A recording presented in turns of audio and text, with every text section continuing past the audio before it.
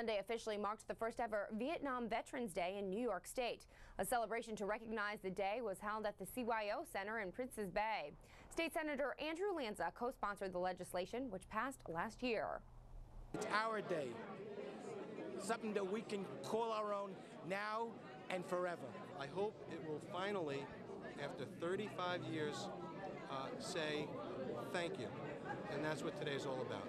Now, Lanza was joined by dozens of elected officials, both Republicans and Democrats, on a day they say helps appreciate and remember those who fought for our country. New York is one of six states dedicating March 29th to the Vietnam veterans. Community members packed the Vanderbilt in South Beach this weekend to help the Seton Foundation for Learning